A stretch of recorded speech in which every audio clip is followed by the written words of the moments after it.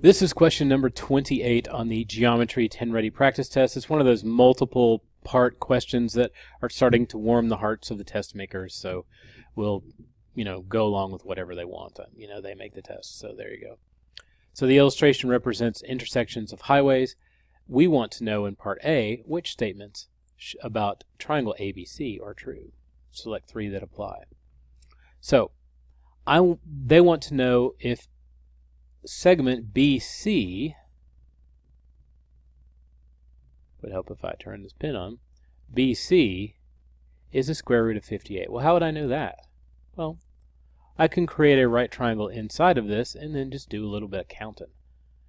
a squared plus b squared equals c squared. So my A might be here, my B might be here, and my C. The A and B don't really make much difference. Generally speaking, people will assume that A is smaller than two legs, but whatever. As long as you have the two that make up the right angles, A and B, you're good to go. So A's value is 1, 2, 3. And by the way, I should mention, I just created this right triangle by creating a right angle.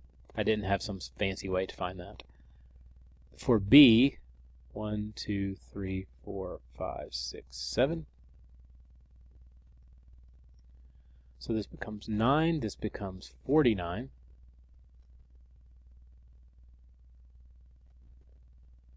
The final step in Pythagorean theorem is always taking that square root. So, oh, indeed.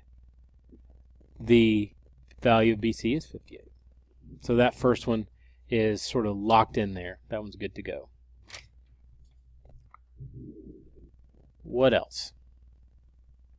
AB is equal to AC. So this distance here is 1, 2, 3, 4, 5, 6, 7, 8, 9, 10.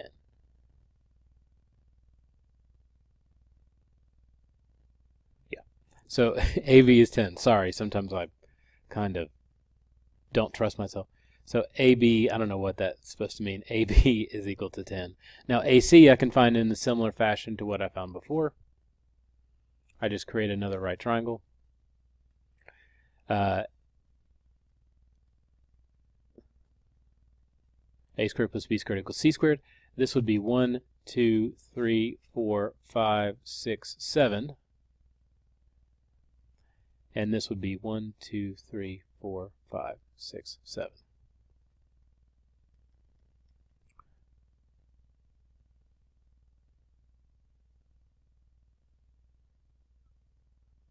I actually didn't believe that would happen. Anyway, uh, 49 plus 49.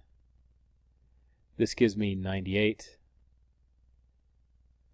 And I could keep going and run it into simplest radical form and see if I can get it down. But I know it's not 10 because it's not the square root of 100. So this one is not true.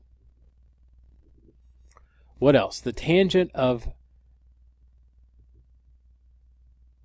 the measurement of angle BAC is equal to 1. Angle BAC.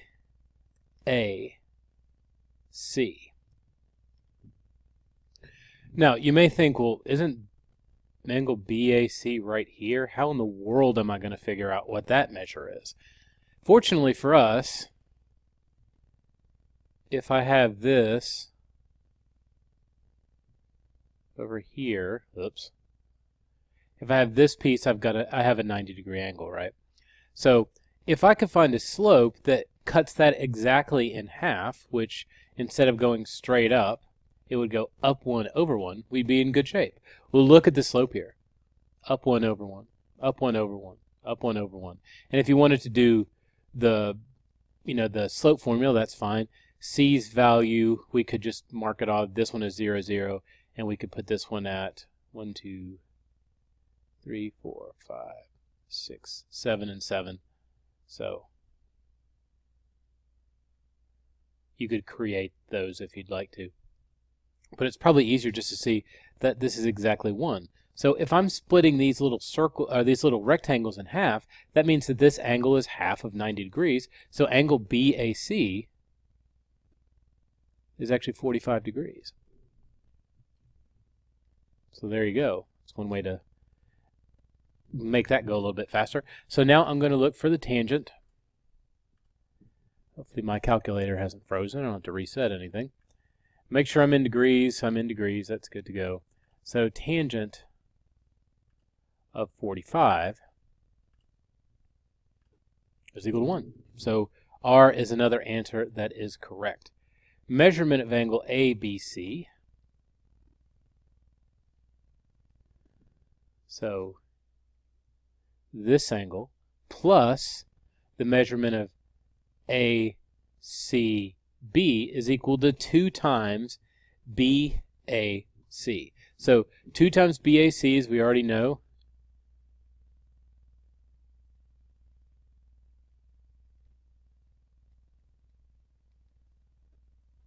is equal to 90 degrees. The trouble with this one is that it's easy to fall into the trap that thinking that you're working with the right triangle. When we found out what ABC was, I was using the fact that I could create a right triangle this way as part of my basis for making a decision. But it doesn't apply here, it's just the sum of the angles being 180. So ABC, which would be here, here, and here, and ACB are just whatever's left over. So if BAC is 45, then ABC plus ACB is equal to 180 minus 45. So those are just these, the sum of those together is 180 minus 45 which is 135. Now, it doesn't matter what they are individually. It just matters that together, this sum of these two things plus this value will equal 180. 2 times 45 is 90. 135 and 90 are not the same, so this one's out. But it's really easy to get it locked in your head saying, okay, well, 2 times 140, uh, 2 times 45 gives me uh, 90. So then I just work trying to make a triangle with that 90 degrees, and it will seem like that one is correct. So make sure you have your whole head on straight about how that all goes. And then the sine of measurement BAC over the length BC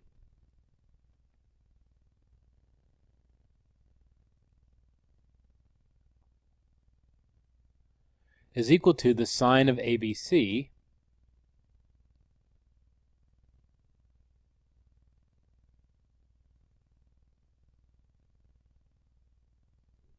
over AC. And AC here, uh, we already found out was the square root of 98. To find this last part, we're going to remember that sine is opposite over hypotenuse. We're going to go back to this right triangle here. To find the measurement of angle B, or the sine of measurement angle B, I'm going to use this distance, which is 7, and the hypotenuse, which is the square root of 58. Um, the sine of 45.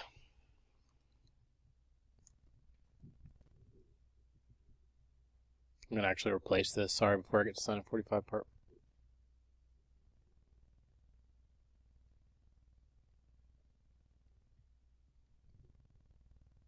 We can either calculate this, which is not particularly difficult to do with our calculator, or you could remember that when I have this sort of set up here, this would be side, this would be side, and this would be side square root of 2. So for this angle here, the side would be 7. So this sine 45 we could rewrite as 7 divided by 7 square root, or sorry, 7 times the square root of 2. Fortunately for us, we don't actually need to do that. Instead, I can just bring up this calculator here and make it work. So I'm going to compare the ratios here. I could do cross multiply and divide, but I don't want to. Or cross products anyway to see if they're equal. I'll just do this ratio, I'll work it all the way out, and then see from there. I need to make sure that this is in degree mode. Because if it's not, it's going to be a problem. So now sine 45. And I'm going to divide that by the square root of 58. That's the value I'm trying to recreate on this side.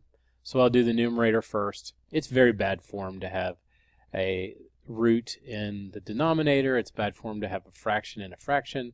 But for our case, sometimes it's nice to just be a little messy and divide that by the square root of 98. This and this are the same, so t is correct. So that's part A of this insanely large uh, problem. So for the next video, I'll come back and do the rest of the parts.